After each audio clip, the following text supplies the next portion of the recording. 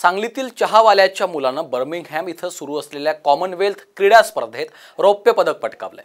संकेत महादेव सरगरनं पंचावन्न kilo weight लिफ्टिंगमध्ये भारताला पहिलं पदक मिळवून दिलंय. नुकतंच तिची बहीण काजल सरगरनं खेलो इंडिया युथ गेम्समध्ये सुवर्ण पदक पटकावलं होतं. तिचं कौतुक पंतप्रधान नरेंद्र मोदींनी देखील केलं होतं.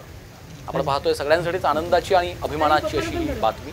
सांगलीतील चहावाल्याच्या एका मुलानं बर्मिंगहॅम इथं सुरू असलेल्या कॉमनवेल्थ क्रीडा स्पर्धेत रौप्य पदक पटकावले आहे संकेत महादेव सरगरनं पंचावन्न किलो वेट लिफ्टिंग त्याला पहिलं पदक मिळवून दिलेलं आहे.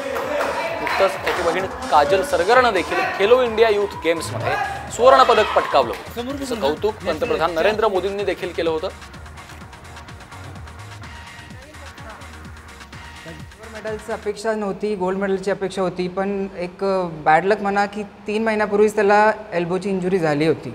पण त्यांनी खूप टफ फाईट दिली आणि खूप स्ट्रॉंगली तो भिडला.